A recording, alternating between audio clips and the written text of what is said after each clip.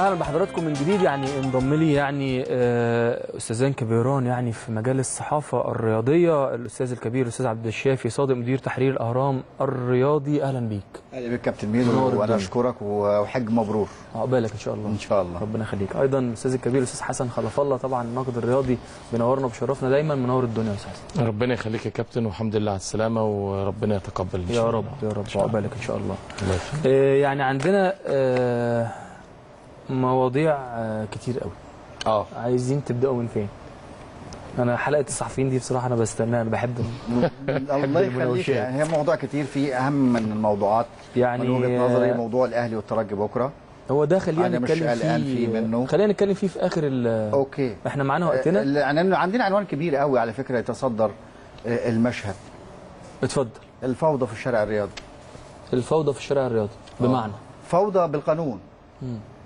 يعني عندنا كل واحد دلوقتي بيطبق قانون هات دماغك مم. آه، عندنا قانون حطيناه بس ما لا نحترم هذا القانون. إحنا لازم نبقى زي كل الدول العالم. إحنا على الكوكب ده مش لوحدنا. إحنا حوالينا دول كتير إذا كان 195 دولة الأعضاء في الأمم المتحدة أو آه، ال 209 دولة الأعضاء في الاتحاد الدولي لكره القدم. حسب حسب الدول اللي هي موجودة إحنا مش لوحدنا. تمام. إحنا التجارب اللي حوالينا دي كلها لازم نستفيد منها. أكيد. زي ما الآخرين استفادوا من المصريين مم. الدولة العظيمة مم. آه، إدارة الرياضة في مصر إدارة آه، فيها نوع من الغموض فيها نوع من الفوضى هناك آه، قانون الرياضة آه، 71 لسنة 2017 إدى جهات أو هيئات سلطات إدارة الرياضة وده مش من اختصاصها لأن دي بدعة مصرية بدعة ما حصلتش في أي دولة في العالم يعني لو اتكلمت على إنجلترا في ثلاث هيئات بيدوروا الرياضة في إنجلترا وزير وزير الثقافة والرياضة وزير الدولة لشؤون الرياضة آه، مجلس ال- الإنجليزي لل- أو الوطني للرياضة. لو اتكلمت على إنج- على ألمانيا هلاقي أكتر من جهة منهم وزارة الداخلية وزارة الداخلية. اللي هي وزارة الداخلية الاتحادية. الألمانية تشارك في إدارة الإدارة ال- إدارة الرياضة الألمانية. تحت إدارة اسمها إيه؟ إيه؟ BASP ده اختصار لإدارة الرياضة في وزارة الداخلية اللي هي بتتابع وبتنفذ بتعتبر نفسها سلطة تنفيذية. لكن أنا شايف المشهد عندنا مشهد آه، ضبابي مشهد فيه قانون صدر في غيبة من الأندية الكبيرة والمؤسسات الكبيرة زي النادي الأهلي ونادي الزمالك والاتحادات الكبيرة آه، لم آه، يعني لم تشار في وضع هذا القانون. فكان المشهد 95 مادة منها مواد يعني عاوز أقول لك ضبابية المشهد كمان يا كابتن ميدو العالم كله عنده ثلاث أنواع من الرياضيات. رياضة أولمبية طب أنا آه، رياضة يعني غير أولمبية كمل بس. اتفضل. رياضة غير أولمبية رياضة بارالمبية. إحنا عندنا أربعة. يعني مزاجنا كده. عندنا أربعة.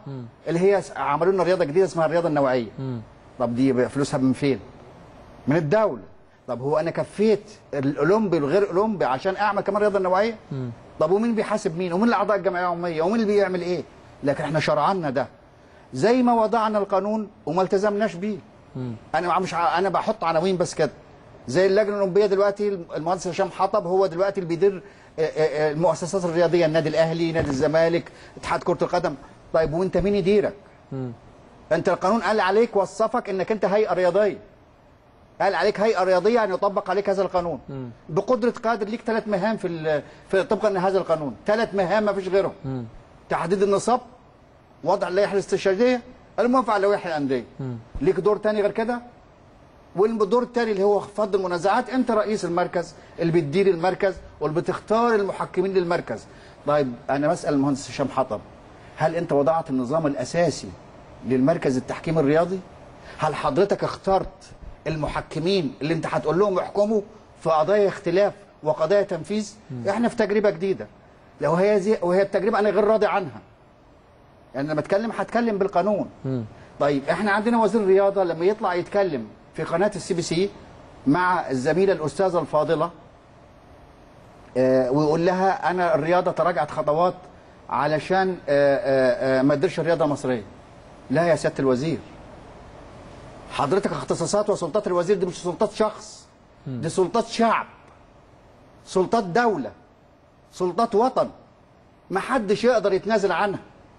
وتنازل عنها لمين حضرتك لما أقول أنا وزارة الداخلية الألمانية تشارك في إدارة الرياضة الألمانية يبقى إحنا ماشيين غلط. تحت إدارة اسمها ASP لما حضرتك أوغندا وهي شريك لينا في القارة الأفريقية ثلاث جهات حكومية تدير الرياضة منها المجلس الوطني للرياضة اللي اللي اتاسس طبقا للقانون 64 وقال هذا المجلس هو اللي يمثل الحكومة ويمثل الدولة ومحدش يقدر. ينظم بطولة الا بمشروط هذا المجلس. يبقى إحنا لازم نعيد النظر. يبقى إحنا عندنا المشهد ضبابي طيب النادي الأهلي آه، آه، عمل جمعية عمومية. عشان آه، طبقا للمادة آه، آه، آه، الرابعة في هذا طب القانون خلينا نتوقف عند عند الجزئيه دي عشان ناخد رأي الأستاذ حسن في الكلام اللي. حضرتك بتقوله. سيبه يكمل. لا ما إحنا هنرجع له تاني أكيد. اتفضل. يعني عايز أخد رأيك في الكلام آه، يعني الأستاذ عبد الشافي بيقوله. شوف يا كابتن إحنا تعبنا من كتر الكلام. امم اتكلمنا كتير وقلنا كتير. من لما جيت كنت أنا جيت آه، آه، مش بقاطعه أنا جيت أفكره إن القانون خلاص نزل واتطبق وخلاص يعني الحاجة الوحيدة آه، ما بتدخلش يا كابتن ميدو القرآن. آه بالظبط إنما. ده إحنا اللي الرئيس السادات قال لك إحنا اللي بنحط الدساتير. مم. الله يرحمه واحد من من عظماء رؤساء مصر يعني. هو بطل بس- الحرب والسلام. قال لك إحنا اللي بنحط الدساتير. مم.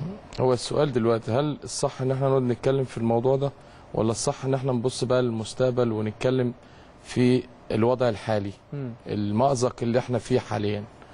اللي إحنا تعبنا من كتر الكلام قصدك إن إحنا نلاقي حلول لل- للموقف اللي إحنا فيه. بالظبط. آه. يعني آه، مطلوب عقلانية شوية. في إدارة المسألة. مطلوب ان الناس بقى تسمع يعني قصدك إن الأستاذ عبد الشافي كل كل الكلام اللي بيقوله ده مش هيجيب نتيجة؟ لا يعني هو مطلوب إن إحنا نذكر المسؤولين دايما بال بالواقع اللي هم وضعونا فيه. هيجيب نتيجة التسكيل للأسف ما. بيسمعوش. تمام.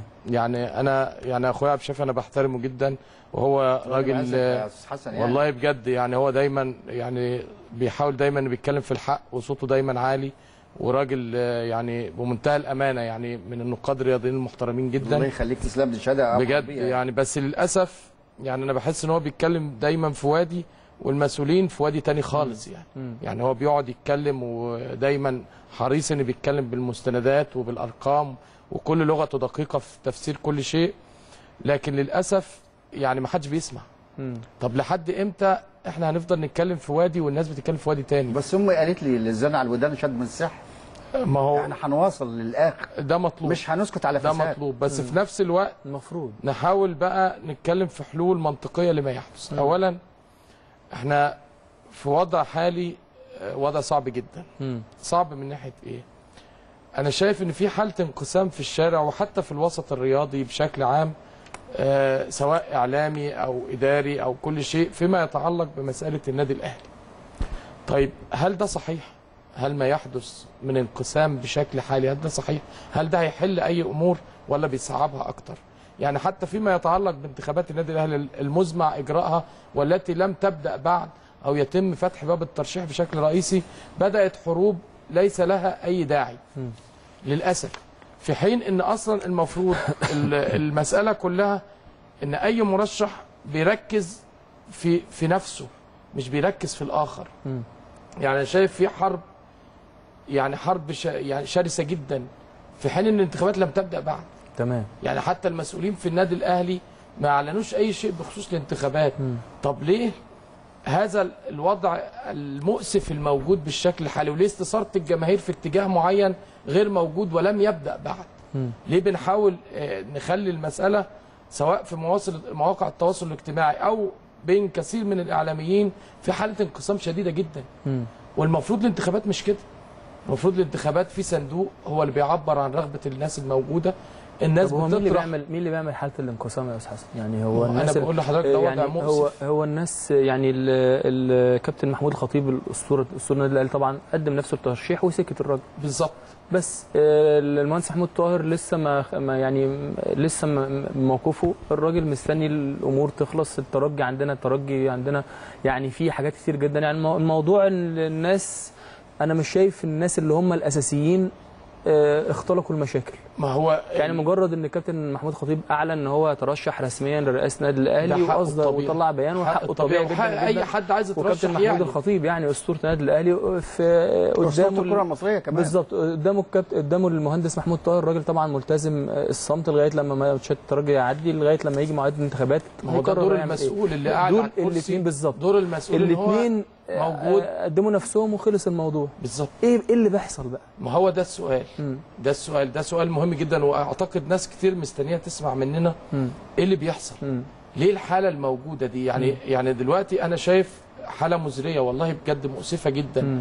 إن البعض بيستغل الموقف ل- في بعض الناس بتحاول تحقق مصالح خاصة مم. في بعض الناس عايزة ليها أهداف معينة في بعض الناس بتهدف إلى آه، شرخ في النادي الأهلي غير موجود من الأساس. دايما انتخابات النادي الأهلي مش هو ده الوضع العام بتاعها خالص أنا معاك. خالص. أنا معاك. ولا بتدور بهذه الطريقة خالص. يعني المفروض الانتخابات النادي أو أي انتخابات المفروض إن كل مرشح بيعلن برنامجه وبيحاول يقنع بيه الجمعيه العمومية مش بيقنع بيه الناس على مواقع التواصل الاجتماعي. والجمعية العمومية بتختار بكل. أدب وبكل. شياكة. مش لازم إن أنت عشان بتدعم ال- ال- الكابتن الخطيب أو بتدعم المهندس محمود طاهر إن إحنا نعيش في حالة ال- الخلاف الموجودة دي. والناس ليه تشوه صورة النادي الأهلي بهذا الشكل؟ يعني في تشويه متعمد وأعتقد إن ده تداعيات الموقف اللي الأستاذ عبد الشافي بيتكلم فيه. ليه؟ لأن لما يكون في حد مخطئ في بعض الأشياء وقاعد بيدير الرياضة المصرية بخطأ فبيحاول إن هو يسخن الجبهات الموجودة عشان ياخدها بعيد عن الصراع الأساسي. الصراع الأساسي اللي هي القضية الأساسية اللي بيتكلم فيها المسؤولين في النادي الأهلي. فبيحاولوا يطلعوا الكابتن الخطيب ببالونة اختبار يحاولوا يشغلوا ناس بعض الناس تولع الدنيا بدون مبرر على أساس إن هي إيه؟ تلهو المسؤولين عن النادي الأهلي عن القضية الأساسية اللي هم بيحاربوا فيها أو مشغولين بيها. تبص في الجانب الآخر أنت عندك ماتش مهم زي ما حضرتك قلت بتاع الترجي طيب أنت ليه بتعمل الزوبعة دي دلوقتي؟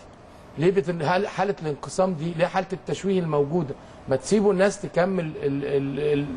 يعني هدفها بشكل طبيعي وتمشي بشكل طبيعي ولما يتفتح الباب انت عندك ليه القانون عمل 45 يوم في بين فتح باب الترشيح والانتخابات؟ طول عمر فريق عشان فترة طول الدعايه عمر فريق أستاذ حسن يعني عشان بس نطمن الجماهير الأهلاوية طول عمر فريق بقى حواليه آه، يعني موضوعات كتير جدا ومشاكل كتير جدا لكن فريق الكرة دايما بيقفل على نفسه.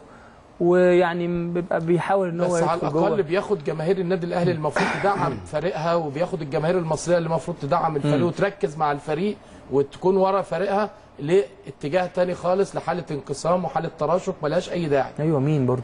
ما هم دول ال ال ال ال ما أنا بقول لحضرتك ده الناس- تفسير الوحيد آه. اللي, اللي بيعمل ال ال الهوات دي اللي موجودة هم دول الناس اللي بيتكلم عنهم الأستاذ عبد يعني خلاص الأمر هم بيحاولوا إن هم يزقوا بعض الحل الناس الموجودة إن هي تعمل حالة من الانقسام وحالة من الشرخ عشان تاخد الناس في اتجاه تاني خالص مغاير لكل الأخطاء اللي الأستاذ عبد الشافي بيتكلم فيها. يعني ده تحليل المنطقي إن في بعض الناس المنتفعين من المسؤولين في الرياضة المصرية والموجودين ليهم مصالح خاصة بيحاولوا إن هم يعملوا حالة الانقسام وهذه الزوبعة الموجودة حول انتخابات النادي الأهلي مبكرا جدا عشان ياخدوا الناس بعيد عن القضية الرئيسية وأنا أعتقد إن ده التحليل الوحيد المنطقي لما يحدث مم. لأن زي ما حضرتك قلت كابتن الخطيب من حقه يعلن والراجل أعلن بيان بتاعه انه ينزل الانتخابات حقه الطبيعي وممكن يبقى بكرة حد تاني يعلن برضه إن هو نازل أي حد. حق الطبيعي بالظبط لكن إيه ليه بقى اللي بيحصل ده؟ إيه السر ورا اللي بيحصل ده؟ والسر ورا يعني تشويه الصور بتاع الناس المسؤولين في النادي الأهلي.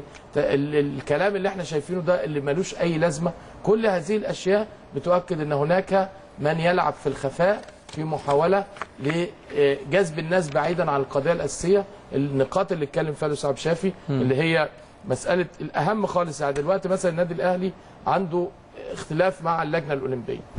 طب المفروض هيلجأ لمين؟ ما هو ال ال ال محك... لو كنت حضراتكم متابعين الكابتن حمادة ال- المصري جه هنا واكد قريت على صحة آه. موقف. النادي الأهلي لا، يعني أكيد آه، حضراتكم متابعين وقال إن المفروض يكون في اجتماع للجنة الأولمبية بالظبط. تعتمد بالظبط. هذا القرار لكن بالظبط. ما حصلش اجتماع فكل هذه الأشياء والاخطاء المفروض الأستاذ عبد الشافي قال إن ما شكلوش حتى لجنة فض المنازعات بالظبط ما عملوش أي شيء طب الأهلي يلجأ هو ما فيش- عشان بس- ياخدك في اتجاه تاني بس يا حسن. طبقا لهذا القانون ليس هناك لجنة فض منازعات عشان نبقى نسمي الأشياء بأسمائها. هو مركز تحكيم هيتحول لهيئات تحكيم حسب القضايا آه، المطروحة. بس أنا عاوز أعقب على كلام الاستاذ حسن. آه، آه، فرض على مؤسسة النادي الأهلي الحرب.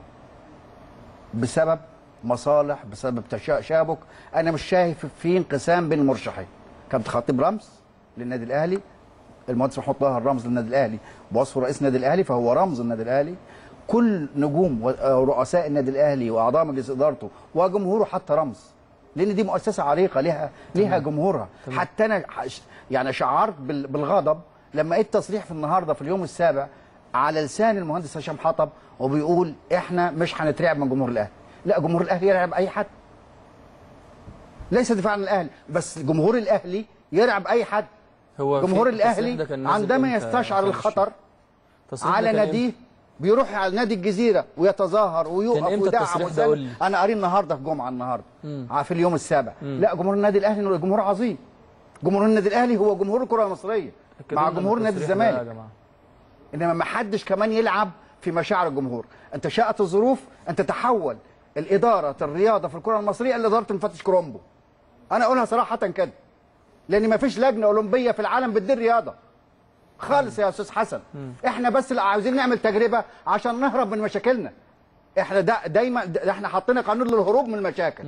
الهروب مش من المشاكل الشخصية مش المشاكل تطبيق الرياضه طب أنا عندي على فكرة أوغندا يحكمها قانون اتوضع سنة 64 اسمه القانون 64 اللي هو إدى الحق الوزيره الس- التعليم والرياضة تدير الرياضة ووزير الدولة لشؤون الرياضة يدير الرياضة والمجلس الوطني يدير الرياضه وحدد الاختصاصات وأنا ممكن أقولها يا كابتن ميدو على ال- على الهوا. عارف يا على أستاذ الشافي أوغندا. إحنا مش أقل من أوغندا المش- ومش أقل من أسبانيا. المشكلة في إيه؟ المشكلة إن لما الكابتن حمادة المصري اللي هو عضو أساسا في يعني في ال- في اللجنة الأولمبية يطلع يقول يا جماعة الموقف الأهلي سليم جدا والأهلي لو هو مش محتاج لل- أقول الكابتن حمادة المصري آه، اديني فرصة.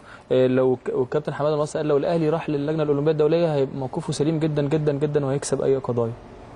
أرد عليك؟ آه اتفضل. آه، آه، النادي الأهلي مش محتاج يعني أنا بقول لك آه، يعني- يعني آه يحسب ليه التصريح بس مش آه. محتاج الرأي. ليه؟ لأن في قانون بينص على ده. المادة الرابعة بتقول إيه؟ المادة الرابعة وتعقد الجمعيات العمومية للهيئات الرياضيه اجتماعا خاصا خلال ثلاثة أشهر من تاريخ العمل بالقانون المرفق المرافق. يخصص لوضع نظامها الأساسية. إيه هتعمل إيه اللجنة الأولمبية؟ وتحدد اللجنة الأولمبية. النصاب اللازم لانعقادها والموافقه على تلك النظم في الحالات المختلفة. لا قال اللجنة الأولمبية تتعمل على يومين ولا تتعمل على شهر. واسمح لي اخد تصريح السيد الوزير المهندس خالد عبد العزيز مع الإعلامية القديرة والكبيرة لميس الحديد. لما قال لها لو النادي الأهلي آه، آه، آه، جعل جمعيته العمومية في حالة انعقاد في حالة انعقاد يعني استمر حتى للجمعة اللي بعدها كان ممكن يبقى موقفه سليم. يعني إيه؟ حد في اسرائيل أنا مش فاهم. وأنا عاوز أفهم. م- م- مجلس إدارة النادي الأهلي عقد على يومين بقت جمعية باطلة. طب هو مش باطلة طبعا طبقا للقانون وطبقا لكل نصوص الموضوع. لأن اللجنة الأولمبية ليس من اختصاصها تقول للنادي الأهلي أو غير النادي الأهلي يوم أو أنت يومين. تعقد على يوم أو يومين أو تعمل على مقر أو مقرين. ليه يا كابتن ميدو؟ لأن حضرتك إحنا ما قرناش القانون. القانون حضرتك في المادة السابعة منه وده دور وزير الرياضة اللي ما عملوش. من هذا المنبر بقول ده دور وزير الرياضة اللي ما عملش هذا لهذا العمل. كان عليه جانب يقوم بيه كان عليه مهمة لازم ينفذها مهمة قانونية. عارف المهمة دي؟ لو ما اتعمل- ما اتعملتش طبقا لقانون العقوبات اسمها إيه؟ المادة 123 من قانون العقوبات تعطيل القانون. قول لي. إيه بقى هي المادة بتقول إيه؟ قول لي المادة. مع عدم الإخلال بالاختصاص المخوله للهيئات الرياضية. يعني اختصاصات الهيئات الرياضية ما حدش يقدر يقرب ناحيتها. يصدر الوزير المختص. القرارات اللازمة لتنفيذ أحكام هذا القانون. مم. خلال مدة لا تجاوز ثلاثة أشهر من تاريخ العمل به. ثلاث شهور ها؟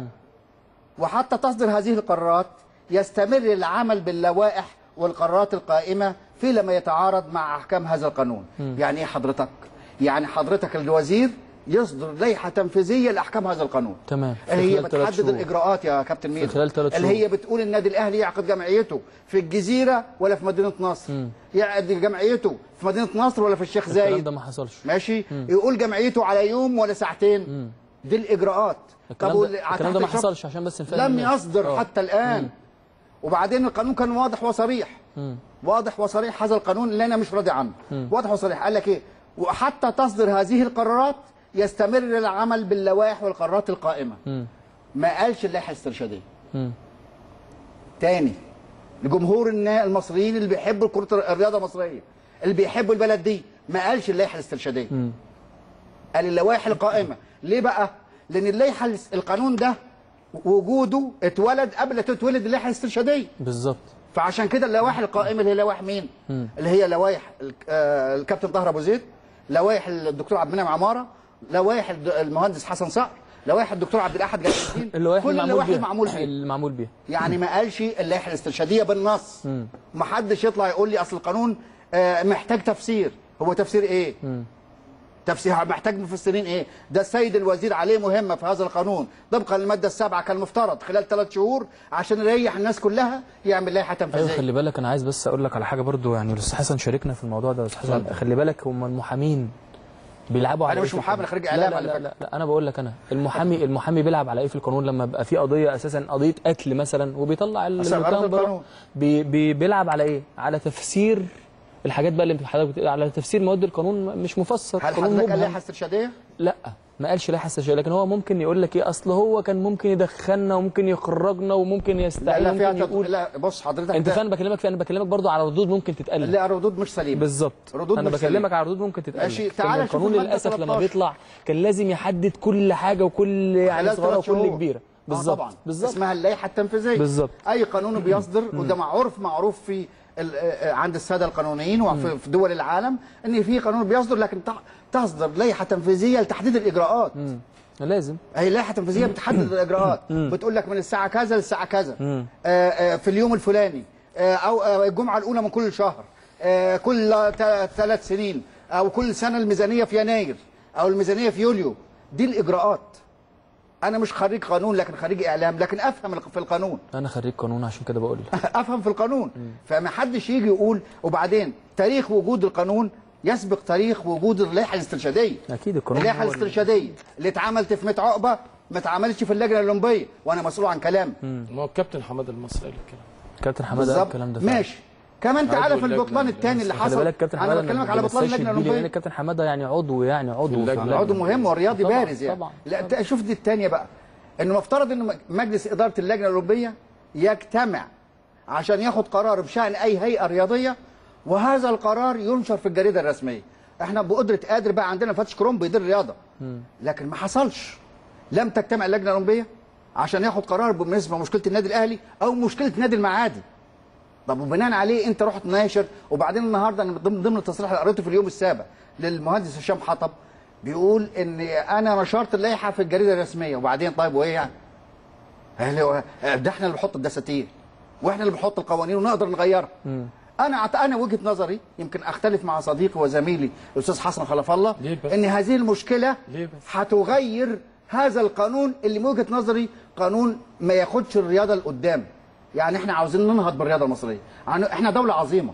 عاوزين ننافس نناطح أسبانيا ونناطح إنجلترا وألمانيا. مش مش محلك سر وبعدين يا أخي سيادة الدولة فين؟ سيادة الدولة. أنا عاوز أضرب مثل.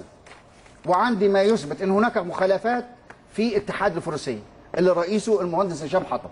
وهناك بلاغ أو قضية في النيابة العامة نيابة مدينة نصر. طيب هذه القضية بعد هذا القانون يتولى المهندس هشام حطب رئاسة اللجنة الأولمبية وإدارة الهيئات الرياضية في مصر. مين هيفصل فيها؟ هو رئيس الاتحاد الفروسيه هيحاكموا رئيس النادي ال- أو أو أو هيناقشوا. رئيس اللجنة الأولمبية ما هم اتنين واحد. ما هو آه هو ال- هو الاثنين واحد. هو المختص بس إذا. كانت قضية تخص المال العام أعتقد دي هيبقى فيها حكم مختلف. يا حضرتك إحنا عملنا يا أستاذ الرياضية. حسن إحنا القانون واضح. إحنا عندنا مين اللي مركز هيصنفها قضية؟ تحكيم رياضي. ما هي بيقول في الأموال العامة مش كده بتقول ولا آه، في في النيابة. في النيابة. ماشي. أنا ما لا أتهم أحد ولكن اقولها قضيه وممكن أقول رقمها حالا على الهواء لكن أنا عاوز أتكلم. خلاص إحنا مش هنتعامل بقضية والقضية دي راحت مركز التحكيم الرياضي. مين اللي هيديرها؟ ما هو اتحاد الفروسية هو رئيسه المهندس هشام حطب له كل التحية وكل التقدير. هو شخصية رياضية نعزها ونجلها. لكن إدارة الهيئات الرياضية في مصر لازم الدولة تديرها مش اللجنة الأولمبية. طيب أنا اسال سؤال. حد سألت السؤال ده قبل كده؟ اللجنة الاولمبيه عملت نظامها الأساسي؟ الأستاذ شريف العريان قال لك اللجنة الاولمبيه عملت لائحتها أو نظامها الأساسي من سنة واعتمدته من اللجنة الاولمبيه الدولية. دلوقتي إحنا عاملين فرع للجنه الاولمبيه الدولية وفرع للفيفا عشان نهدد ونعمل فزاعه للمصريين ماشي؟ حضرتك ما ينفعش. ما ينفعش ليه؟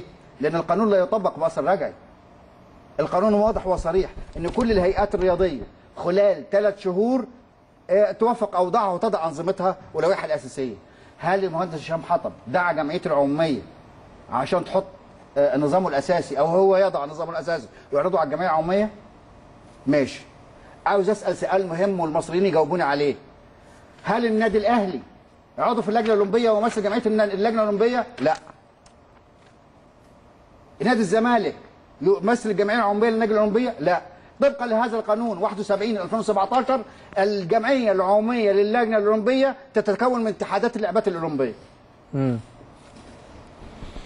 أمال أفرض عليك السيادة إزاي؟ إذا كان أنت مش عندي.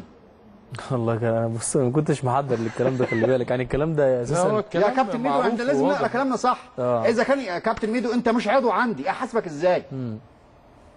أنا أعرف تحاسبني إن أنا تحت مظلتك القانون ما قالش هات يا أستاذ حسن ال- بس أنت القانون. أكيد أكيد نادي تابع للجنة الأولمبية يعني يعني أكيد. لا مش تبع اللجنه الأولمبية آه اطلاقا. لكن الاتحادات الرياضية هي اللي أعضائها من انديه وفي اتحادات رياضية ملهاش جمعية عمومية. اللي هي الاتحادات اللي أنا قلت لك العالم كله عنده ثلاث أنواع من الرياضيات الرياض- الرياضات أو اللعبات أولمبي وغير أولمبي وبارالمبي. إحنا في مصر عملنا رابع. نوعيه نوعي. مم. بعض الاتحادات دي ملهاش جمعيات عموميه. لا يمثلها إلا مجالس إدارتها. طيب وبعدين؟ وبعدين هل الرياضة المصرية تمشي كده؟ وخصصنا باب كامل. أهو أنا مش هذهب بعيد عنك يا أستاذ الفاضل عن ال- ال- الاتحادات النوعية اللي اللي أقرها هذا القانون. أهي الباب الخامس. يعني العالم بيعترف بثلاث رياضيات إحنا عملنا أربعة. أنا خايف أصحى ألاقيهم خمسة. عادي ممكن. الباب الخامس للاتحادات النوعية. ممكن. كل شيء جاهز. فكيف اللجنة الأولمبية التي ليس في عضويتها أندية هي التي تحكم وتدير الأندية وتحاسب الأندية وتطالبها بتنفيذ إجراءات؟ البعض فسر قال لك أصل اللجنة الأولمبية كلمت إدارة النادي الأهلي بالبق شفاهة لو سمحت خلي جمعيتك على يوم واحد. وأنا اسال مقر واحد. القانون ما مهم. فيهوش كده أنا عايز أسألك سؤال مهم جدا والسؤال ليك يا أستاذ حسن. يعني طالما الأستاذ عبد الشافي بيتكلم ب... ب... بمستندات وبورق كده ليه كلكم ما بتحطوش إيديكم في إيدين بعض ويبقى ليكوا صوت؟ بمعنى؟ بمعنى إن الراجل ما بي... يعني بيتكلم لوحده. أنا حاسس إن هو بيتكلم لوحده. شوف آه، مش بيتكلم يعني لوحده أنا وأنت. ساكتين من كتر ال... لا، يعني أنا بس يعني- وبيتكلم بأدلة وبيتكلم بورق وبيتكلم بيجيب لك لوائح وقوانين. يتكلم ويقول اللي جواه ويخرج يعني لو. كلامه لو كلامه هنفترض إن في مثلا أنا آسف يعني لو هنفترض إن مثلا في 70% صحيح يبقى كلامه معظمه صح. يعني ليه ليه ما ما يبقاش فيه رابطة إن هي يعني تقول للناس دي يا جماعة أنتوا أنتوا غلط؟ مش ما هو انت أو إن الناس. ما قالتش إن في غلط كتير من أول أو يبقى بداية في المشوار مواقف ما إحنا عمالين نقول غلط في غلط ولا في حد حاجة في الأهرام الأخطاء اللي موجودة في اللائحة الاسترشادية وكتبنا في الأهرام ده إحنا معديين. كده الكلام ده معدي الل- اللائحة الاسترشادية لا لا أنا فاهم وكتبنا كتير واتكلمنا كتير بس طبعا والنادي الأهلي نفسه ما هو راح لمجلس النواب واتكلم معاهم في الكلام ده وعرض وجهات النظر لكن في النهاية هم ما حدش بياخد بالكلام.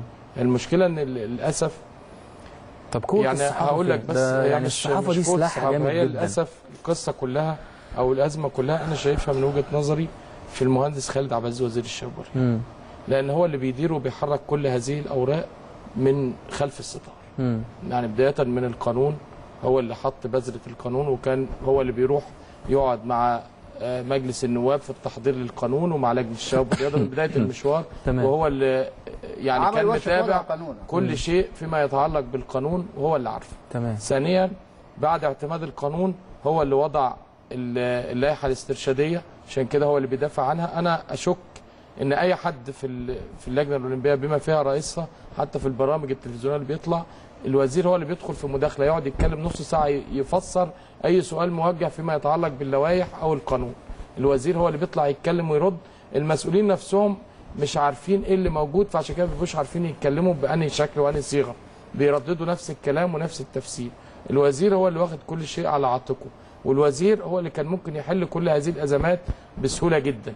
يعني أنا بقول اللوم على المهندس خالد عبد العزيز في كل الأزمات الموجودة حاليا لأن هو هو المفروض ما دام هو اللي بيدير أو مسؤول عن الرياضة المصرية أو مدير الرياضة المصرية أو وزير الرياضة المصرية أو مدير المشروع الرياضي ال- هو- انسحبت من إدارة الرياضة المصرية. لا بص خلينا بس ده كلام مسؤول مش كلام أنا. ال- المهندس خالد عبد العزيز خلينا نتكلم بس بصراحة هو المسؤول عن كل ما يحدث في هذا التوقيت وهو اللي ممكن ممكن يخلص كل حاجة وهو اللي ممكن يعقد كل شيء. الو- الوزير هو اللي بيدير كل شيء من خلف الستار ويا ده باعتراف الكابتن حماده المصري وهو إن الوزارة هي اللي هو الوزير اللائحة. يعني سيادة الوزير تمام. آه، مش المفروض إن هو بيهمه الرياضة المصرية وأكيد هتحسب له يعني بس هو آه، سيادة الوزير آه، دافع عن الأخطاء حتى اللي موجودة في اللائحة الاسترشادية بشكل مخ... غريب جدا يعني إحنا حتى لما كتبنا في الأهرام إن اللائحة الاسترشادية يعني بتلغي بند الجنسية. المصرية من الانتخابات يعني إزاي يكون في انتخابات وما يكونش في بند ملزم فيها ان لا- لابد ان يكون مصري الجنسيه. يعني ده أمر صعب جدا. بتلغي بند أداء الخدمة العسكرية. وما كتبنا الكلام ده والمؤهل العالي أعتقد إن جاله بعض لفت النظر من من جهات سيادية. عشان كده كان حريص إنه يقعد يتكلم معانا في الأهرام ويشرح ويعمل عشان يظهر الأمور. لأن فعلا لكن برضه يقعد يدافع. والكلام كله مطاطي وكلام كله اتكلمنا فيه كتير. وبرضه نفس الناس بتقعد تدافع باستماتة وبشيء غريب للغاية إن هو يعني أنت شايف الصح وبرضه مصر عشان أنت ده, اللي عامل ده اللي أنا بستغربه. ده صحيح. فأنا شايف إن المهندس خالد عبد العزيز هو اللي في إيده مفاتيح أو خيوط اللعبة كلها. مم. وهو اللي مشي المشوار من أوله وهو اللي كان عمل اللجنة الثلاثية اللي فيها الكابتن حسن مصطفى والمهندس هشام حطب.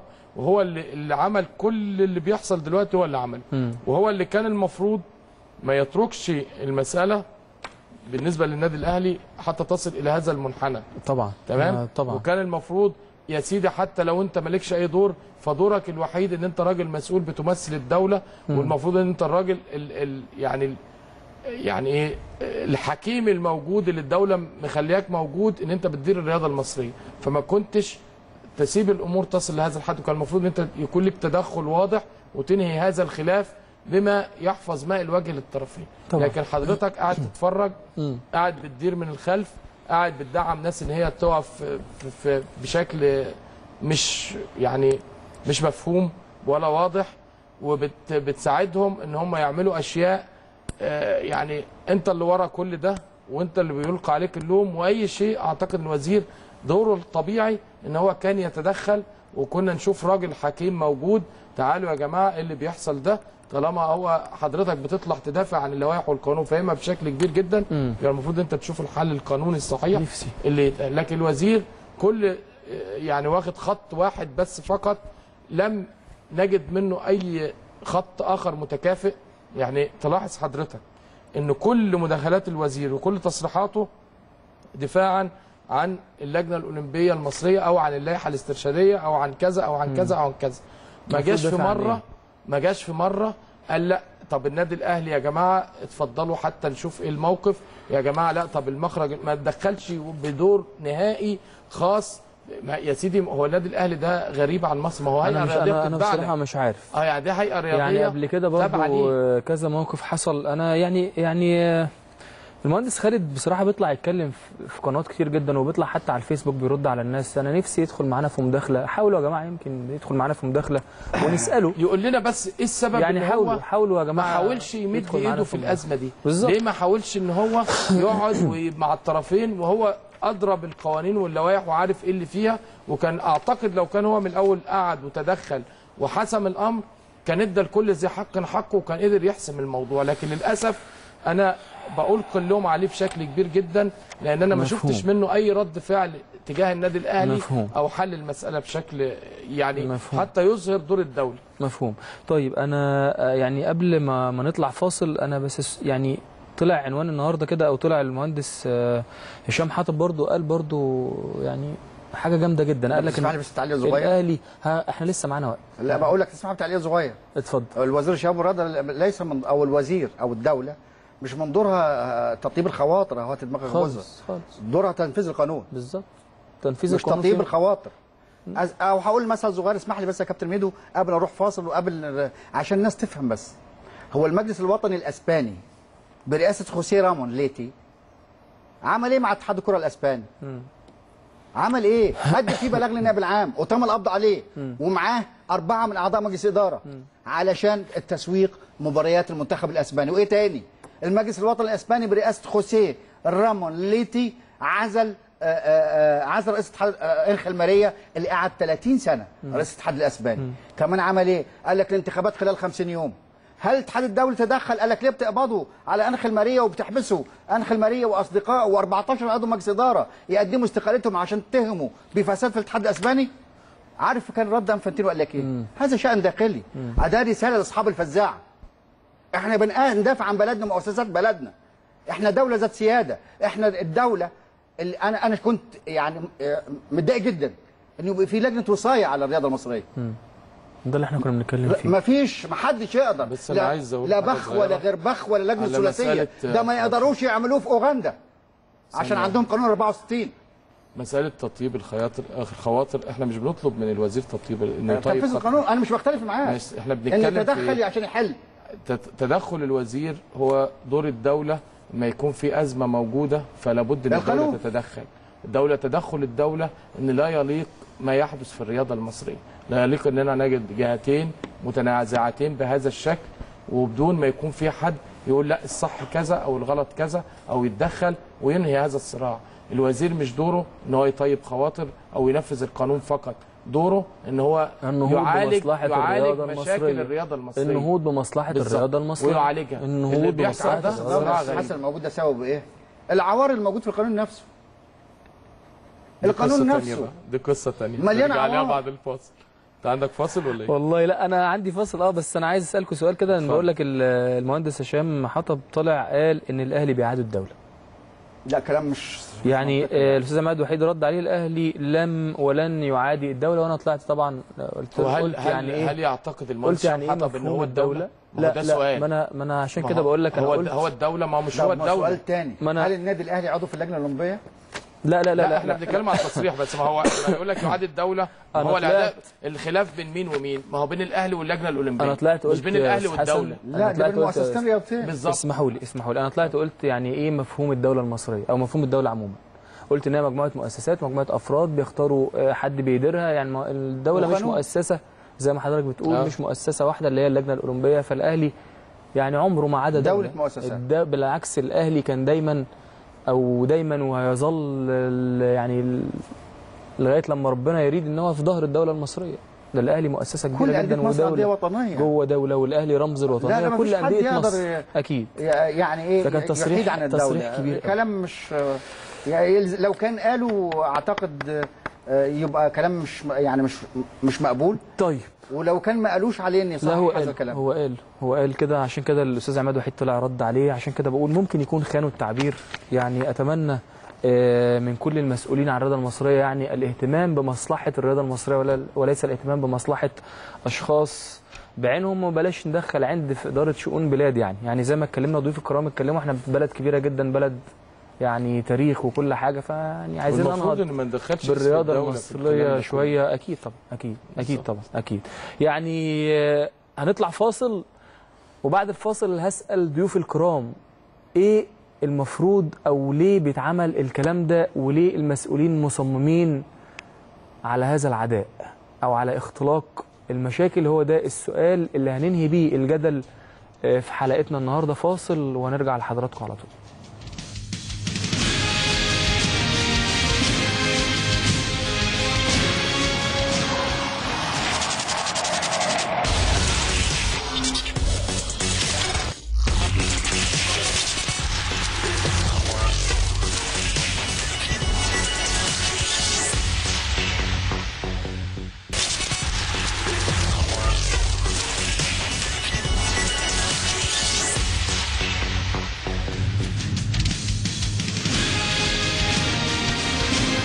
مستمرين معاكم ومعايا الأستاذ الكبير عبد الشافي صادق والأستاذ الكبير حسن خلف الله ولسه بنتكلم يعني في مشاكل آه، أو مشاكل رياضيه عموما آه، ودور آه، وزير الرياضة واللجنة الأولمبية. يعني مش عايز أقول في اختلاق يعني عشان الموضوع ما بقاش كبير قوي لكن مشاكل بتحصل والناس معاها ورق ومستندات وللأسف ما فيش حلول أو اللي هي الحلول الإجبارية اللي هو كده.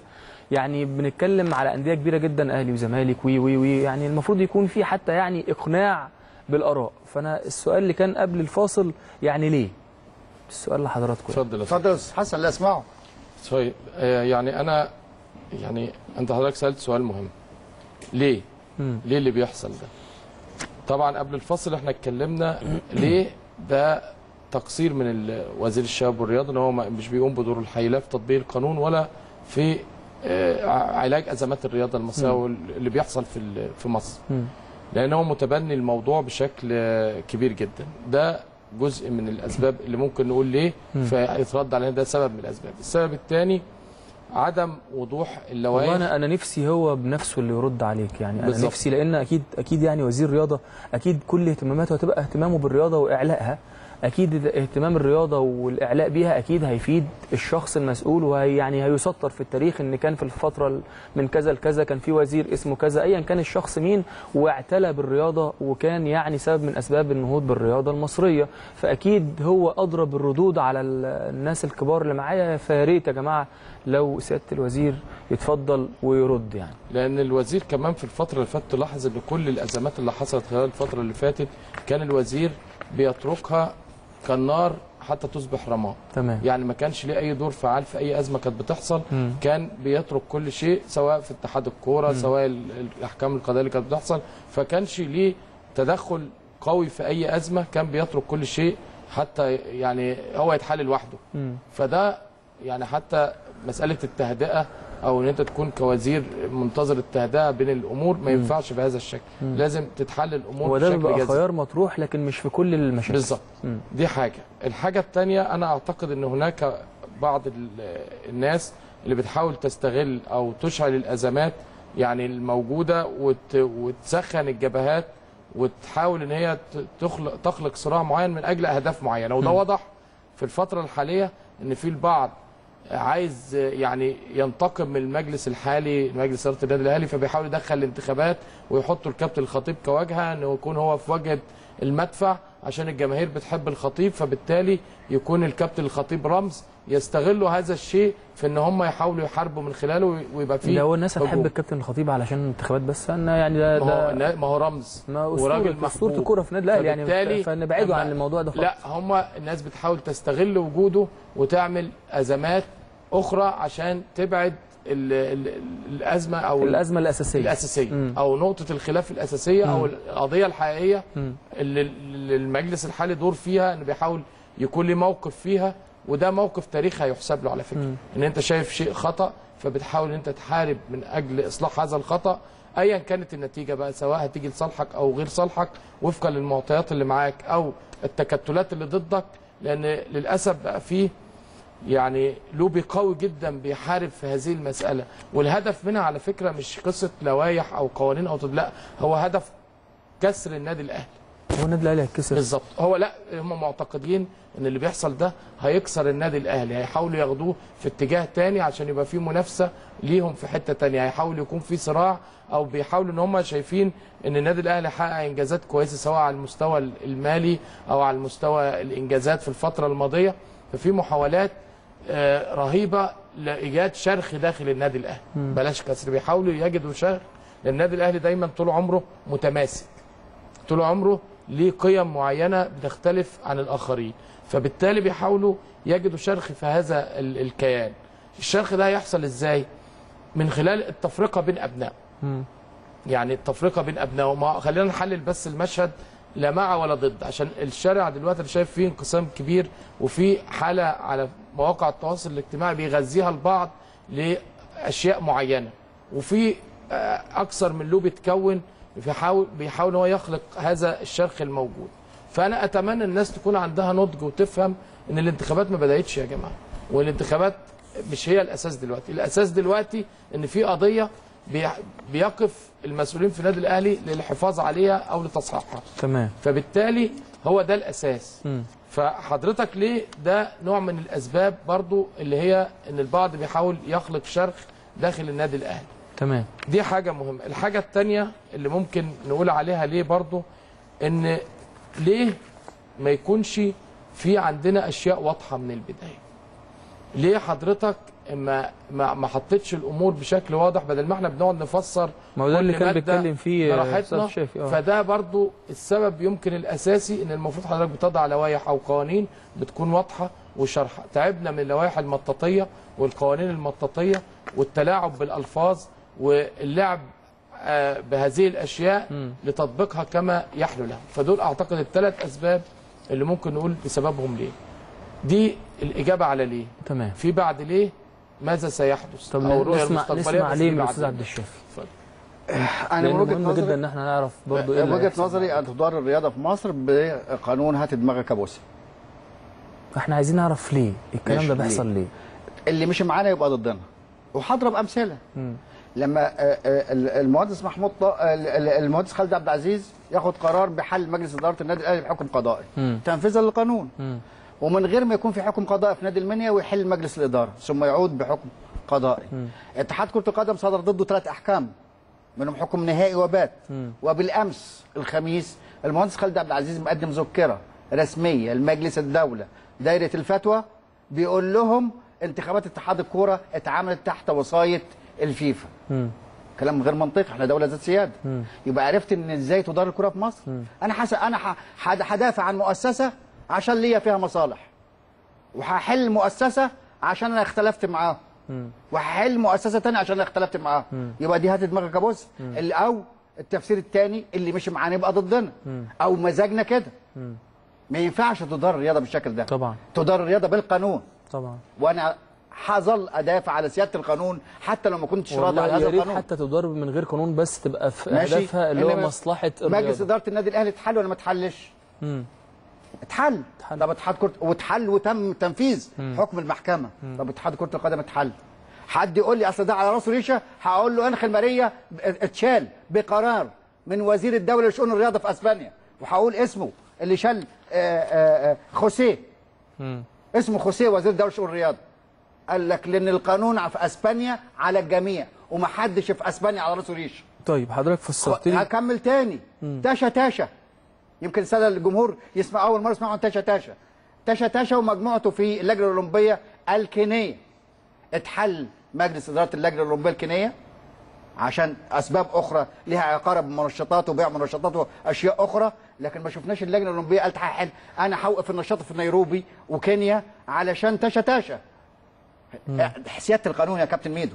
سيادة القانون. وتاني هدافع عن سيادة القانون. لكن هات دماغك ابوسها أو اللي مش معانا يبقى ضدنا أو اللي مش ده مزاجنا ده ما يقدرش الرياضة المصرية. تمام تمام. دي اللي هو إجابة السؤال ليه؟ لهم بقى تاشا تاشا علينا شوية. كلهم تاشا تاشا أنا لما قال لي تاشا تاشا افتكرته هيقول حاجة أيوه لهم تاشا تاشا علينا شوية. طيب إيه إيه المفروض؟ إيه المفروض؟ آه، المطلوب دلوقتي أو يعني ما الصح. أو الصح. إيه إيه أو إيه الحل؟ بمعنى الحل أصح أنا أو أدق. وجهة نظري لازم تدخل بقى من الدولة. لازم الدولة الدولة عندنا مش وزير بس ولا لجنة أولمبية بس زي ما حضرتك قلت الدولة مؤسسات كبرى في جهات سيادية مسؤولة في الدولة المفروض تتدخل بشكل عقلاني وتقول يا جماعة اللي بيحصل ده خطأ كبير جدا وما ينفعش مؤسستين كبار يكون آه، التعامل بهذا الشكل والصراع بهذا الشكل لازم يكون في تدخل من الدولة لازم السيد رئيس الجمهورية ي- يقول أو يدي يعني تعليماته بإنهاء هذه الأزمة بالشكل اللي الصحيح ما ينفعش لازم يكون في عقلاء في الدولة في رئيس وزراء في رئيس جمهورية في جهات كتير سيادية في الدولة. المفروض ما تتركش آه، الموضوع بهذا الشكل وبهذه الصورة المزرية وهذه التصريحات السيئة اللي بنراها كل يوم والتاني بشكل غريب جدا. ما ينفعش إن يعني على الأقل إن في مصر يكون هذا الصراع بين مؤسستين. يعني أنا أرى إن ال- النادي الأهلي مؤسسة كبيرة جدا ومؤسسة ذات جماهيرية كبرى جدا. ما ينفعش الدولة تتخلى عنها في هذا التوقيت بهذا الشكل. لابد. إن الدولة يكون لها دور وتقول للناس يا جماعة ما ينفعش. تقول للوزير يا سيادة الوزير المسؤول ما ينفعش اللي بيحصل ده. حضرتك دورك إن أنت ما يكونش في هذا الصراع في الرياضة. الرياضة مش صراعات بهذا الشكل. حضرتك لازم تتدخل لازم الدولة تتدخل وتحل الموضوع بشكل أكتر من كده أكيد. وأنا عشان كده بناشد الجهات المسؤولة في الدولة من أعلى سلطة في الدولة ل- لكل السلطات الموجودة إن يكون تدخل العقلاء مطلوب إن يحل الموضوع. أنا شايف إن اللي بيحصل ده أمر مؤسف للغاية. أكيد أنا معاك آه وكلامك مهم جدا جدا آه لكن كنت أتمنى طبعا آه إن المهندس خالد يدخل ويرد على أسئلتكم اللي حضراتكم سألتوها والاتهامات كمان الموجهة ليه؟ لكن خلاص يمكن في حاجات أكيد أو مش مش يمكن أكيد في حاجات إحنا ما نعرفهاش في حاجات بتبقى دواخل كده إحنا ما نعرفهاش لكن كان من الأقدر إن هو يطلع يرد وهو بيطلع يرد في كل القنوات مش عارف ليه مش عايز يطلع معانا. عموما يعني كانت حلقة مهمة جدا. بس اسمح لي عاوز أقول حاجة مهمة جدا طب قبل يلا عشان الحلقة يا كابتن ميدو آه،. إن أنا القضية اللي قلت عليها الخاصة باتحاد الفروسية الملاحظات اللي قدام نيابة مدينة نصر تاني هي القضية رقم 3416 لسنة 2011 إداري ثاني مدينة نصر. عشان يبقى كلامي واضح وموثق وبالأرقام عشان ما حدش يجي يقول لي ده ما حصلش. تمام. تمام. كلامك مفهوم جدا واضح جدا وكانت حلقة آه، مهمة جدا وكلمنا فيها. عن يعني مواضيع أعتقد إنها تهم الرياضة المصرية ما تهمش النادي الأهلي بس نتمنى طبعا يعني النهوض بالرياضة المصرية من كل الأشخاص. صعب شايف نورتني وشرفتني. أشكرك كابتن ميدو. ربنا يخليك شرف كبير ليا إن أكون مع حضرتك. ربنا يخليك. حسن طبعا أنت منورنا وشرفنا. ربنا يخليك تنورونا وتشرفونا وبسعد بلقاء الصحفيين بصراحة. ده كان أول جزء يعني من من حلقتنا النهارده. اتكلمنا فيها عن مواضيع تخص الرياضة المصرية مش النادي الأهلي بس. أرجو إن حضراتكم تكونوا متفاهمين يعني إيه الرياضة المصرية يعني إيه النهوض بمصلحة الرياضة المصرية. وأرجو كمان الأشخاص القائمين على الرياضة المصرية إن هم يتفهموا الكلام ده. وإحنا بنتكلم في المصلحة العامة وليس مصلحة أشخاص ولا مصلحة نوادي. بعينها هنطلع فاصل عشان نستقبل ضيوفنا الكرام الكباتن الكبار كابتن أسامة عرابي وكابتن أحمد أبو مسلم. فاصل استنونا.